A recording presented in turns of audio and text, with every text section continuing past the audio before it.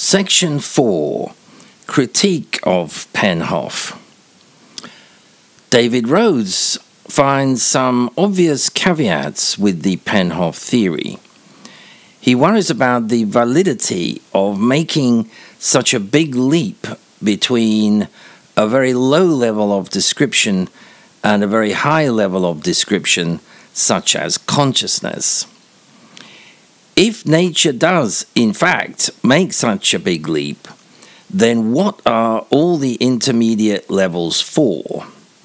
For example, why do you need nerves, nerve cells and neural networks?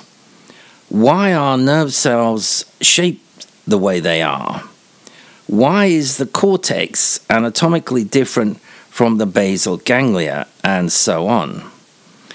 Rose says the process of cause and effect seems to leap over these intermediate levels. He also asks why interfering with these intermediate levels should affect consciousness. Why does losing blood supply to the brain or giving someone a hallucinogenic drug affect their consciousness?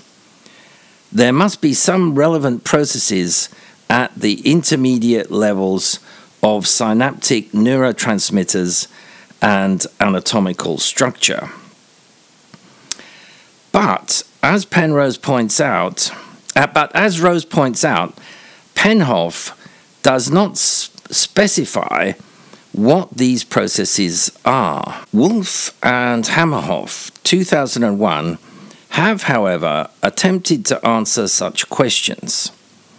They suggest that neurophysiological processes, as revealed by conventional research, are all pre-conscious these processes are what Rose above called intermediate levels.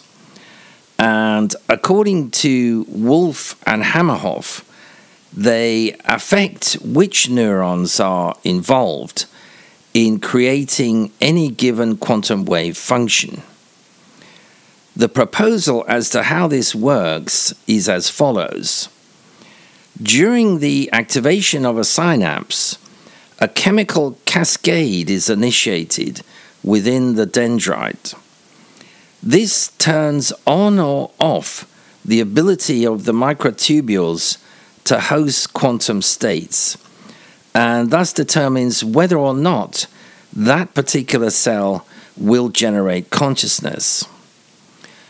Woolf and Hameroff further posit that the quantum wave function relevant to consciousness is not usually restricted to the microtubules within a single neuron, but is normally spread throughout the brain or at least a region of the brain.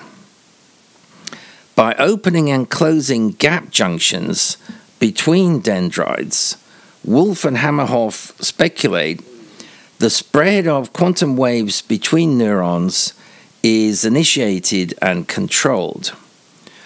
Once created, it is the collapse of a wave function that constitutes a conscious experience or a conscious decision. Thus, to explain consciousness fully, we still need to know about all the neuroanatomy, physiology, and pharmacology.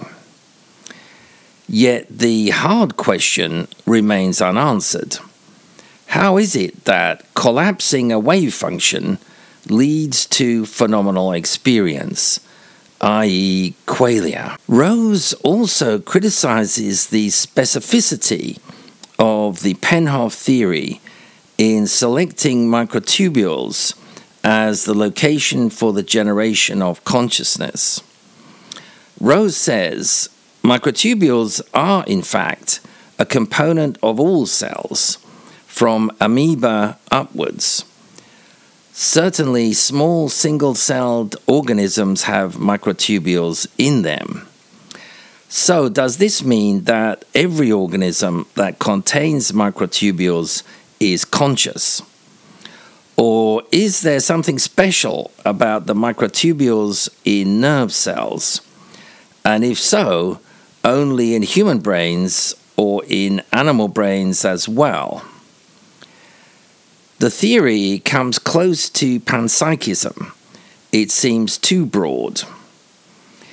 Dennett also expresses a very similar criticism. Having mentioned Penhoff's speculation about possible quantum effects occurring in the microtubules of the cytoskeleton of neurons, he casually dismisses it as a non starter, but adds that he can't resist raising one question for Penrose to ponder. If the magnificent quantum property lurks in the microtubules, does that mean that cockroaches have non computable minds too? They have the same kind of microtubules we have. Penrose and Hameroff attempt to rebuff this sort of criticism as follows. Microtubules in neurons are quite distinct from those in other cells. Firstly, they are arrayed in parallel rather than radially, because unlike other cells, neurons lack centrioles. Secondly, they are quite stable. Thirdly, they are far more abundant in neurons than other cells, form larger and more complex networks, and have a greater genetic variability than other tissues. Raymond Tallis also comments critically on the Penhoff claim that the unity of consciousness may be underpinned by quantum coherence generated within microtubules in the brain. Tallis says that this doesn't persuade him for many reasons.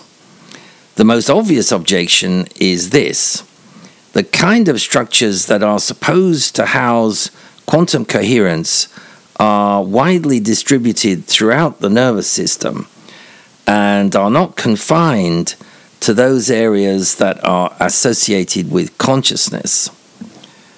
It might be argued somewhat tendentiously that quantum coherence does not make you conscious, but unifies your consciousness if you have it already. We should, however, be suspicious of thinking of consciousness as a kind of stuff that is potentially dissipated but can be called to order by what, after all, are microscopic physical forces. Besides, there is no reason why the unification that quantum coherence supposedly imposes should translate into subjective or experienced unity, even less into a unity in which multiplicity is retained.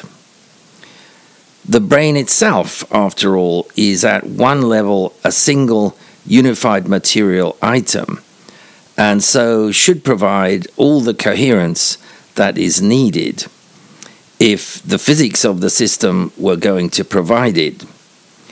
And what is more, has the added advantage of being the right kind of size. Tallis also criticizes the whole idea that appealing to these strange properties of matter, as observed by quantum physicists, can make it seem more likely to accommodate mind. His major point is that the bizarre qualities of quantum mechanics are present in all things, both conscious and not. Tallis further criticizes Penhoff's suggestion that the unity of consciousness can be explained by quantum coherence that would bind together activity across different parts of the brain. He says, according to them, quantum coherence is due to a particular structure in the neurons, namely a folded membrane called the endoplasmic reticulum. Unfortunately, this membrane is seen in all neurons, including the vast majority of them that no one would accuse of being conscious. and in many tissues outside the nervous system, and in the cells of organisms that are not conscious.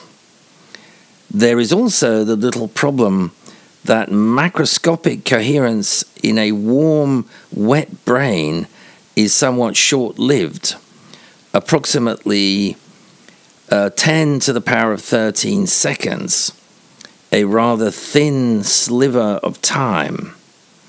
This is not the kind of interval out of which you could get much sense of unity or indeed coherence, never mind a biography. David Rose also picks up on the temperature problem for a quantum theory of consciousness.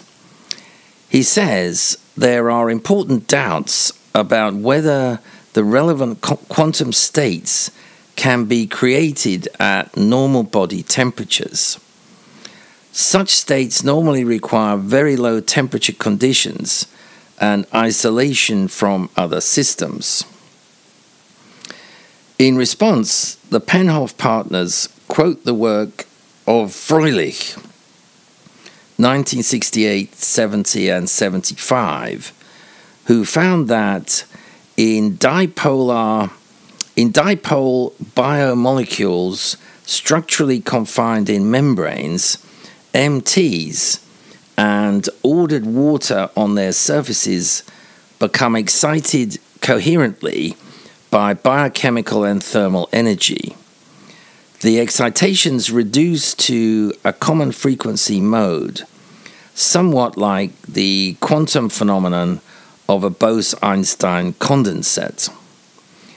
In Bose Einstein condensates, like superconductors, coherence is attained by extreme cooling to remove thermal vibrations. In lasers and in the Fröhlich model, the coherence derives from energy pumping. At face value, this seems to contradict the objections about temperature and isolation. They also specifically link bioquantum processes to information processing. Fröhlich coherence among the hydrophobic pockets within MT subunits has been proposed as a basis for information processing via neighbor tubulin dipole interactions, e.g., as in a cellular automaton.